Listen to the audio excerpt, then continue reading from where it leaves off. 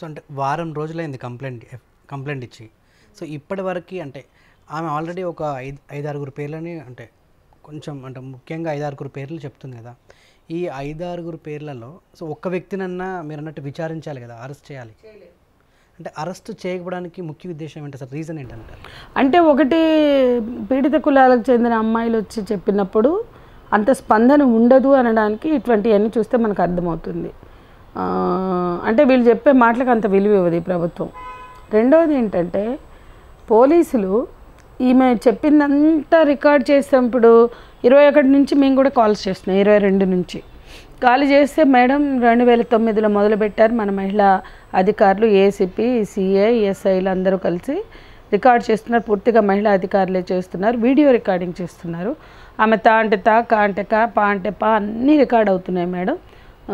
అన్నారు. ఇరవై రెండుకి చేస్తే ఇంకా టూ థౌజండ్ నైన్ టెన్ లెవెనే చెప్పింది. తను అయిపోయింది సాయంత్రం వెళ్ళిపోయింది.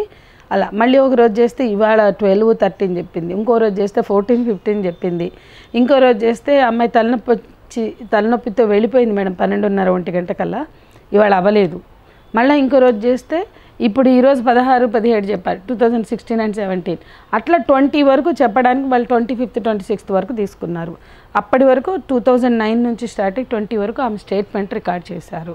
తనైతే చెప్పింది కదా స్టేట్మెంట్లో వీడియో రికార్డింగ్ జరిగింది. దాని ఆధారంగా ఈరోజు దర్యాప్తు మొదలుపెట్టాలి.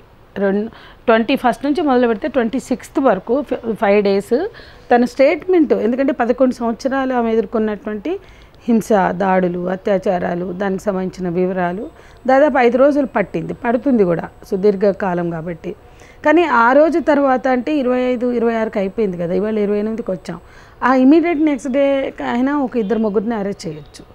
ఇరవై ఏడు ఇరవై ఎనిమిది రెండు రోజులు ఉంది దాన్ని ఇప్పుడు విచారణ వాళ్ళకి ఇచ్చాం వీళ్ళకి ఇచ్చాం అని చెప్తున్నారు. అంటే ఇప్పటికి కూడా అరెస్టుల పర్వం మొదలు కాలేదు. అంటే అగ్రకులాలు అయితేనే ఇక్కడ పట్టించుకుంటారా?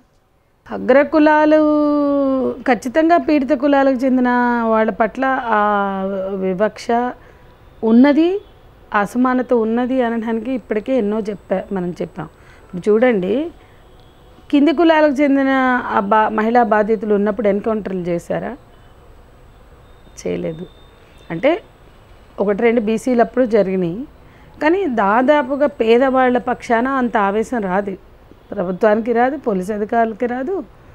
ఇప్పుడు దిశ కేసులో కలి చలించిపోయినట్లు కదిలిపోయినట్లు ఆవేశానికి గురైనట్టు పోలీస్ అధికారులు ఇప్పుడు అవ్వట్లేదు ఎందుకు? ఆవేశం ఎందుకు రావట్లా? ఇదనే కాదు. మరి అమీన్పూర్ ఘటన చిన్నదా? అమీన్పూర్ ఘటన చాలా అన్యాయం కదా. పద్నాలుగేళ్ళ పాప హాస్టల్లో అంత నీచంగా అంత క్రూరంగా వ్యవహరించారు అమ్మాయి పట్ల అంత దారుణంగా. ఎవరికైనా ఆవేశం వచ్చిందా మరి? సుగాలి ప్రీతి విషయంలో ఆవేశం వచ్చిందా? సజ్జనార్కి పూనకం ఎందుకు రాదు ఇప్పుడు? అమీన్పూర్ ఘటన రంగారెడ్డి పరిధిలోనే జరిగింది కదా. అమీన్పూర్ సంగారెడ్డిలో ఉండొచ్చు కానీ చాలా వరకు. మియాపూర్ ఎక్కడుంది?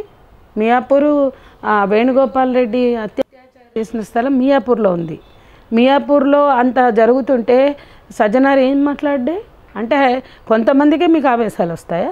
అందరికీ రావు అనే ప్రశ్న జనం నుంచి వస్తుంది కదా. దానికైతే జవాబు చెప్పాల్సిందే కదా. మాది కూడా అదే అభిప్రాయం.